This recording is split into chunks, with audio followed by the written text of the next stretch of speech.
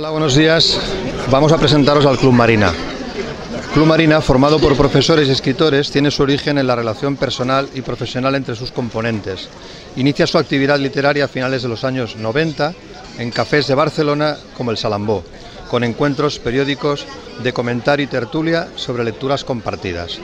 En los últimos años ha incorporado también la escritura como actividad de grupo, de este modo nacieron los nueve relatos que componen Los Días Lábiles, Stomber Editorial 2016 y ahora Lo demás son ciudades, que se encontrarán dentro de este, de este grupo de, relatos, de nueve relatos titulado Lo demás son ciudades, pues más o menos lo que sigue.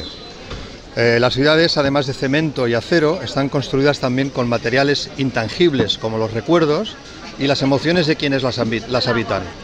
Los lugares elegidos se presentan como territorios de tránsito, con personajes que viajan o que permanecen, pero que de un modo u otro se transforman con la interacción con el espacio.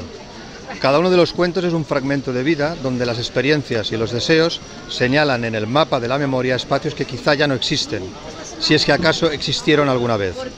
Los protagonistas de los relatos son, de alguna manera, transeúntes de alguna ciudad y Max es el personaje metamórfico que habita en todas.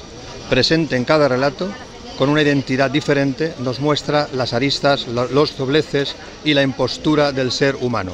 Y aquí estamos hoy, pues eh, tres miembros del grupo, Amanda Gamero, Herminia Meoro y un servidor, Jorge Gamero. Gracias.